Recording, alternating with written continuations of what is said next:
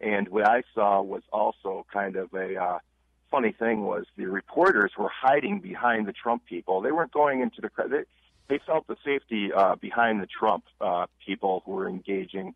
You know who. That's a fascinating uh, anecdote, I must say. I, I wish we oh, had. They would not go into. I wish we had video of that. So the press hiding behind Trump supporters is actually uh, uh, symbolic because if freedom in this country is saved, it won't be by the left. The left doesn't give a damn about liberty. It's not its value system. Equality is in its value system. Fighting racism is in its value system, but not but not liberty. The left wing on our campuses, not liberals, the left wing on campuses, whether they are students or faculty, are fascistic they violently take over office. What do you what do you think that is? The takeover, the trespassing and taking over of your office is not an act of violence because they didn't punch anybody. What if they tried to be removed? Would they just would they go peacefully?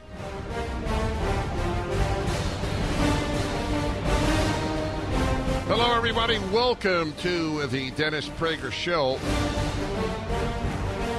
Uh, having said that, however, because uh, the motto of the show, a motto of the show, is first tell the truth, and give your opinion. Uh, this is a one of these grandiose lies that Trump's rhetoric about what to do with uh, the disruptors at at his rallies is what caused this mass disruption. Uh, who causes the uh, takeover of the uh, president's and dean's offices all over the country by the fascist left? Donald Trump?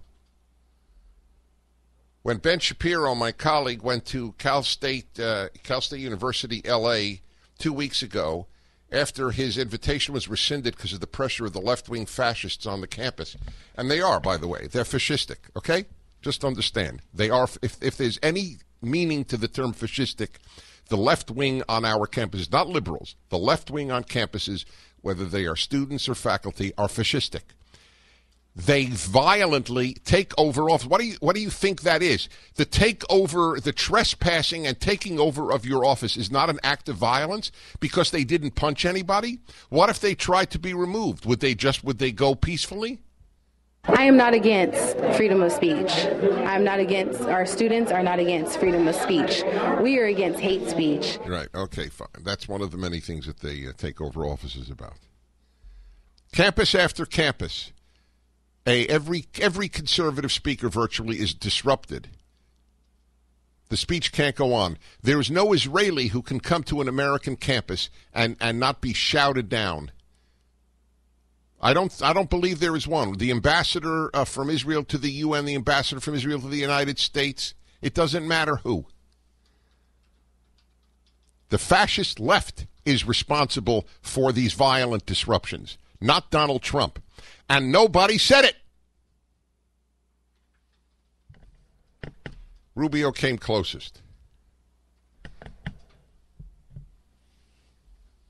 All the, and by the way, just politically, politically, it's uh, these these uh, uh, people have uh, almost assured the uh, a win for Donald Trump this uh, Tuesday in the various states that he's competing. If the if the fascists of this country, if the left wing fascists, if the hooligans, the thugs of this country hate Trump, Trump must be a great guy. That's what people think. These are hooligans. These are fascists. They the they take over uh, uh, highways in San Francisco. I read that to you. It's just it's common.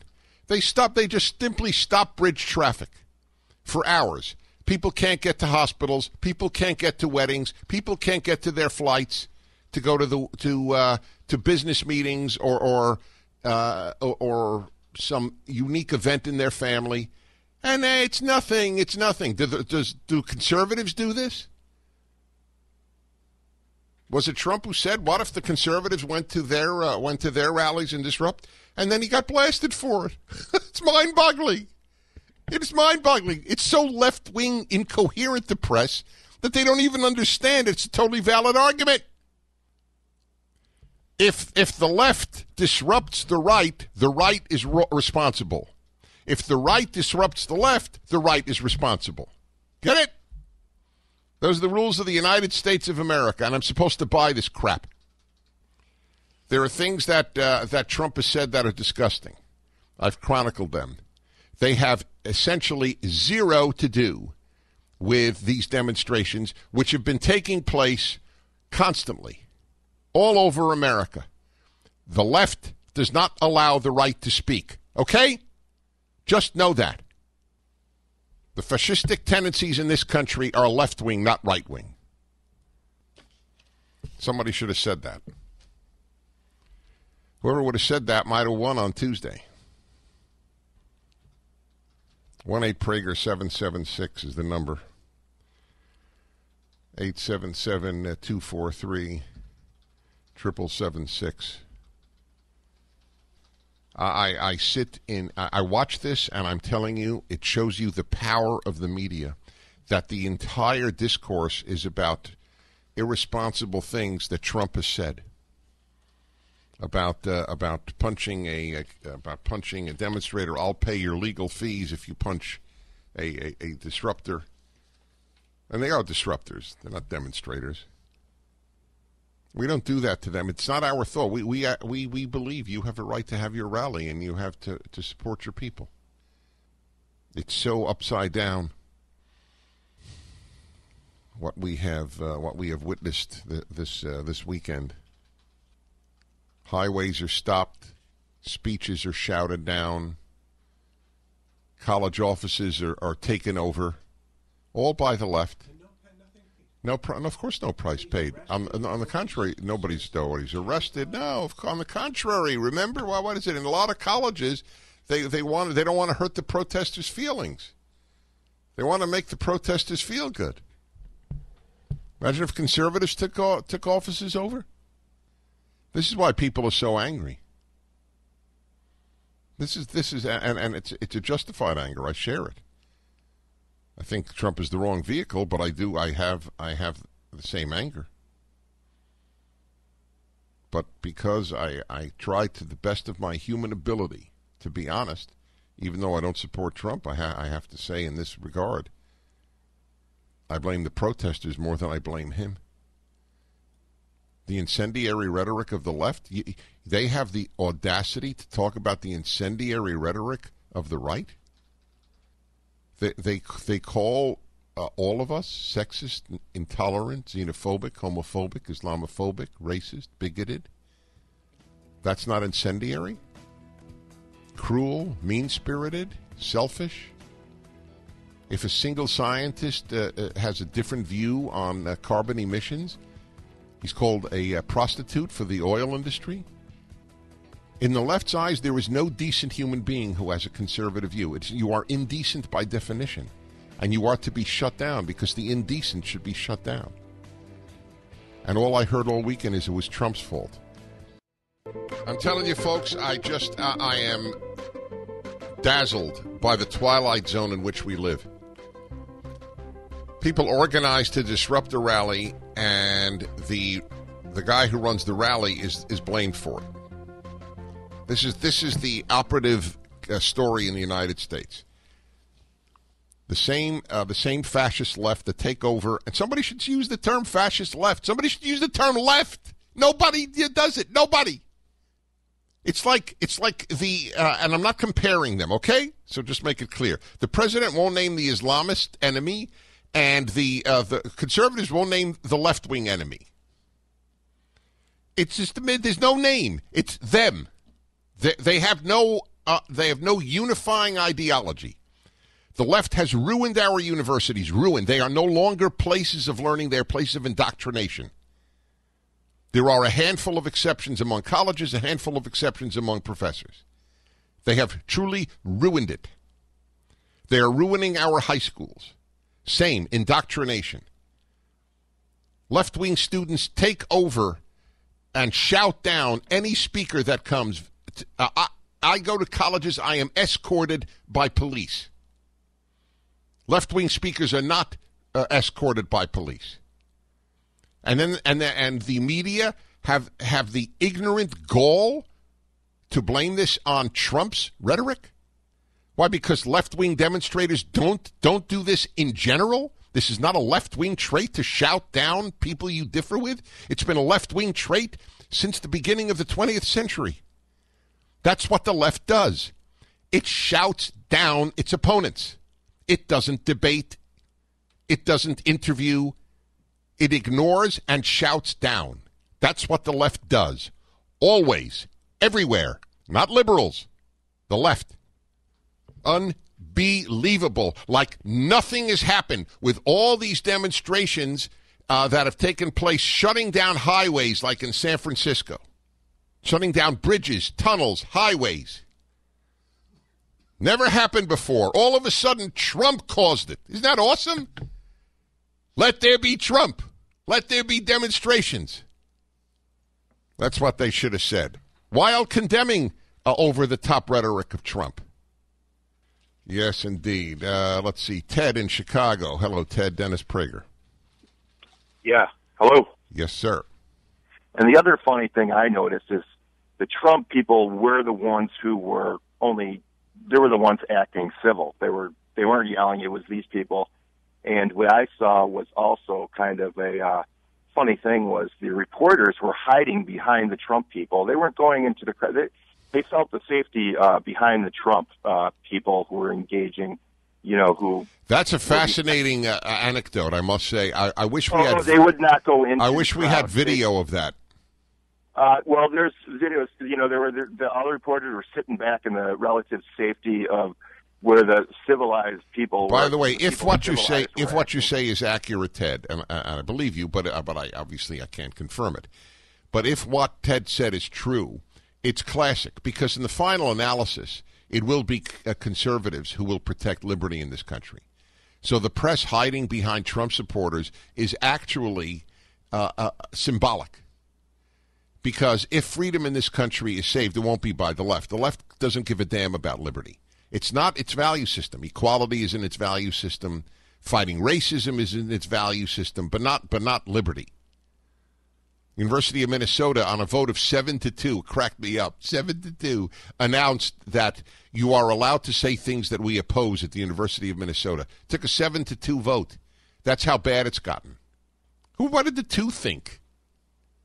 You shouldn't be allowed to say things that bother people at universities. That's how bad it's got. It's the left threat. And and believe me, I'll bet you the people who uh, in this, I would love to know the ages of the seven who voted that uh, liberty should be maintained at University of Minnesota. Wouldn't be surprised if they're older people. The young, having been indoctrinated by the left, couldn't give a damn about freedom of speech, and it's true. The the Pew uh, Research Center, what what is it? What is what percentage of millennials uh, don't believe that you should be allowed to engage in speech that might offend someone? Seventy percent, sixty percent, some some well over a majority well over half. Hi, everybody. Arguably America's most well known assessor of America's thinking, Frank Luntz, is on with me. Frank, I want to. I want to ask you a question, and I, I, I, presume you didn't hear what I said before, so you, uh, I have in no way tried to uh, persuade you in any direction. Frank, uh, I, I said, and I am I'm anti-Trump. Uh, but I said that this blaming of Trump for what the disruptors did, when these disruptors of the left do it to every conservative on every campus every day, uh, I find that intellectually dishonest. My reaction. Yeah. I did CBS this morning, and they kept peppering me with, why doesn't Donald Trump tell people not to do it? there has to be a consistency on the left and on the right. Everybody needs to be held accountable. Freedom of speech isn't free, isn't freedom, if it's okay for one group and not okay for another. And it's also not just freedom of speech, but it is the freedom to be heard. So what bothered me the most about the protest on Friday was the deliberate effort from these left of center groups to deny those who wanted to hear Donald Trump the chance to hear him not just in the arena itself, but they were gathering up as many tickets as they possibly could to prevent voters from hearing what this phenomenon is all about. And there's never an excuse for violence, ever. Never, ever. Right. And so I think it's important for So so the, the, the media narrative though has been it's all Trump's rhetoric. When the left does this They close down bridges. They take over deans and presidents' offices. They shout down every pro Israel speaker who comes to any campus in the United States. And we're supposed to assume this is a, a one, one time only. All of a sudden, because of Donald Trump's rhetoric, the left has decided to disrupt the conservative speaker. Well, here's the amazing thing: we've forgotten that the left disrupted Bernie Sanders. Yeah. Early in the campaign, Black Lives Matter took over one of his rallies. Yeah. But they weren't they weren't physical about it. And the fact is, you take a look at that footage inside, that these protesters were determined not only to disrupt it from freedom of speech, but to disrupt it physically. Dennis, we have the disintegration of civility in this country. That's right. We, and it's not, I, I want to make one correction. It's not that we have forgotten what we learned. The fact is, these kids never learned it at all. That's correct. That, that's right. To, they have nothing to forget. And my concern is that you now have a 30 point gap between Democrats and Republicans among 18 to 29 year olds. Yep. And that's not good for democracy. That's not good for society. These young people absolutely believe more that 58% believe socialism is a better system than capitalism. Yeah. 9% chose communism. Right. So I know. we aren't. Your article not, is very powerful. We're not even teaching them what they need to know. That's exactly right. That's why I founded Prager University, which you have helped, by the way, and I am very, very grateful to you. The make-believe world of the left and the media. This has just been this has been one of the greatest examples in its clarity. People violently disrupt a rally, premeditatedly do so, and the speaker is blamed. This is what is done all the time. Uh, the conservatives who are not shouted down are disinvited from campuses. They're shouted down. Nothing happens to them. The uh, the universities feel bad for them and say the speaker has incendiary talk. This is this is the rhetoric of our society today. The left thugs that take over the buildings on campuses, the thugs who take over the uh, the the Bay Bridge in San Francisco, and all the other places uh, that you know of, and the traffic stopped, and we're supposed to go. Thank you. We hear your cause. Thank you so much. It's an honor to have you disrupt our lives like that. Yep, that's what it is. This is this is really something. It's Trump's fault, right? Because otherwise, left wingers don't disrupt conservatives. This is a first, a first time event. It's just mind blowing. This is what the left does. It has always done it uh, uh, since uh, since before the Bolsheviks. You shout down, you disrupt, uh, and if necessary, you get violent with those you would differ with. Not liberals. Make that clear. It's not John F. Kennedy liberals we're talking about. They're gone. John F. Kennedy liberals are now called conservatives.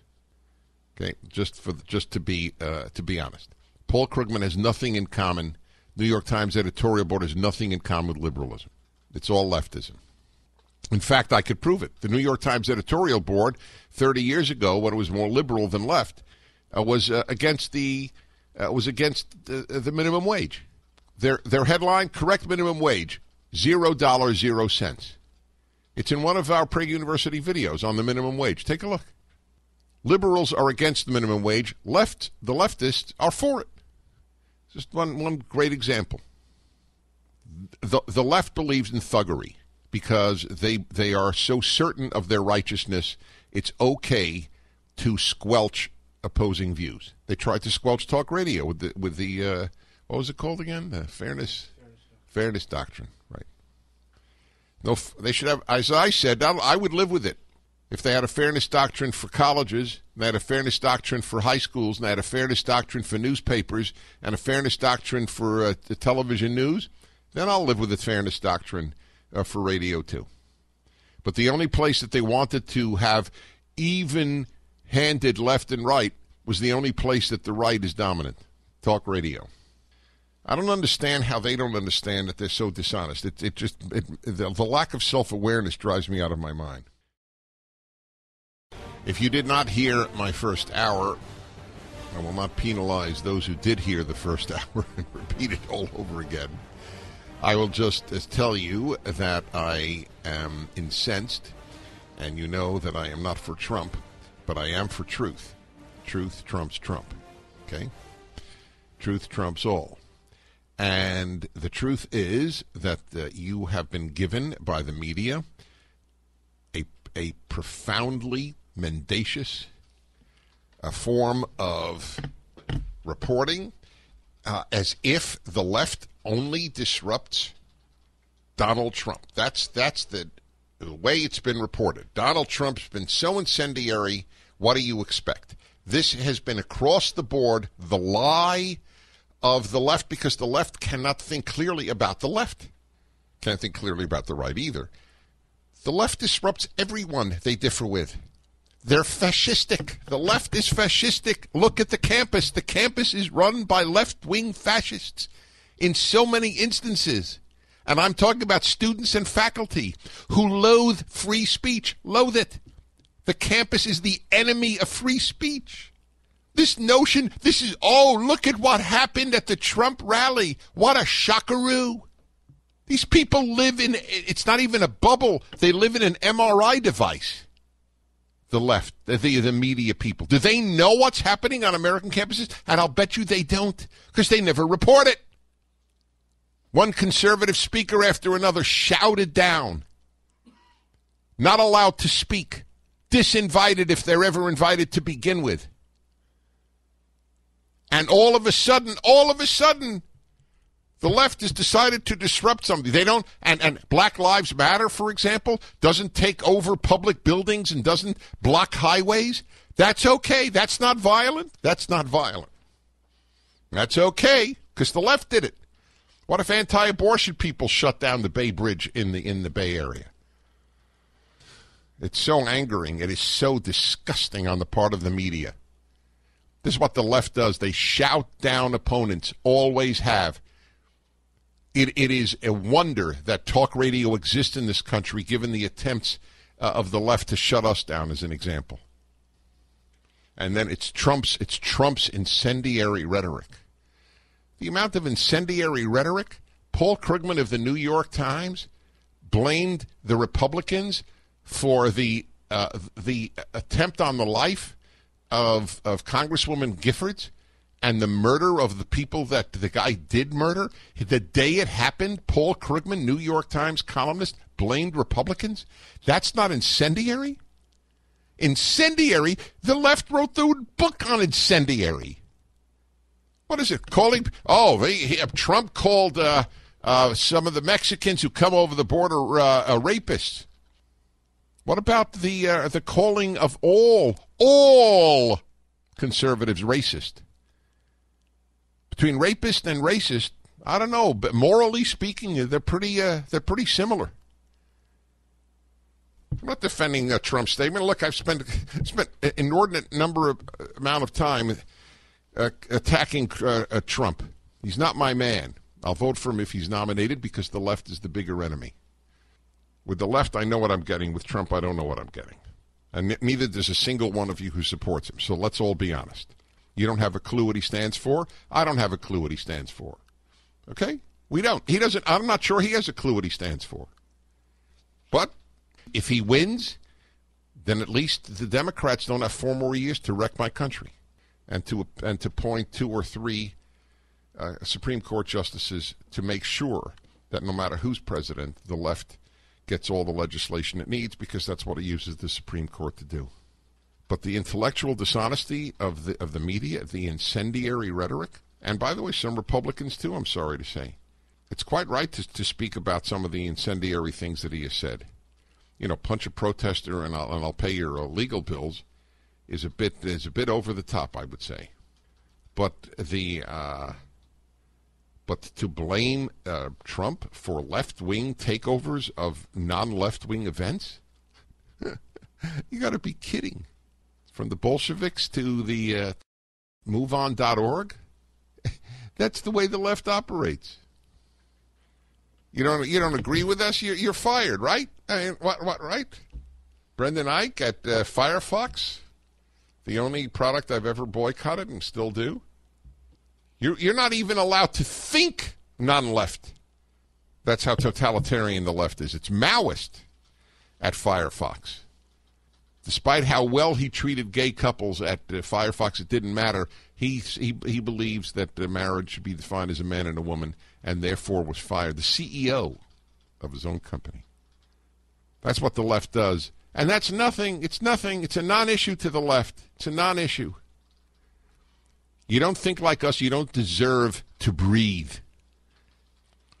That's that's the story here, and uh, I wish I wish somebody in the Republican side had said it. The, these uh, uh, the fascism in America is is uh, in in the guise of the left. It's in the guise of tolerance, of anti-racism. That's that's how it's coming to America. Look at your campus. I have living proof. Where the left is dominant, you have a form of fascism. You are shouted down if we differ with you. Period. It's just it's mind-boggling. It's mind-boggling that this is not mentioned. That's why Trump has support. This is the this is the reason. Because the lies that pervade American life are so thick that there's a belief by by his supporters that at least one guy is going to say, you know what, the the uh, emperor really is naked. In fact, he's getting pneumonia. It's so cold. And I understand it. Believe me, I understand the support for Trump. I don't think he's the right vehicle, but I understand the support because we bathe in the lies of the left. Paul Krugman can blame Republicans for the shooting of, of Gabby Giffords. And nothing happens. Nothing. The incendiary rhetoric in the New York Times among New York Times columnists. Krugman repeated the lie that Bush knew there were no WMD just about two weeks ago. Nothing, nothing. They could say anything, and they do. Anything. I wrote I, I wrote a, a piece about uh, I don't know eight years ago on uh, on the subject of uh, when a woman is not in the mood. Okay, wife loves her husband but is just not in the mood for intimate relations. So I wrote a I wrote an article about if you really love him and he's really good to you, and you want to have a better marriage, uh, don't let mood always determine whether or not uh, you uh, have uh, relations. And uh, guess what? The Daily Kos put out. Dennis Prager advocates marital rape. Okay, that's talk incendiary. They, they, they can't spell the word. That's the definition of left wing rhetoric is incendiary. Uh, you just you, listen to what happened this weekend and it makes it make, makes you throw up because of the intellectual dishonesty of the media. This it's like it's like it's a one off as they say in Britain. Just happened one time. The left has disrupted something that they don't agree with. What a shock. It must be Trump's fault. And they, and there are Republicans who, who agree with that. That's how powerful the media are. If they say two and two is five, well, there's some truth to the two and two is five. Yeah, absolutely. Because after all, two and two is four plus one. I mean, two and two is four, but if you just add one, it's five. So you know, it's not exactly five, but it's it's you know, but there is some argument for it being five.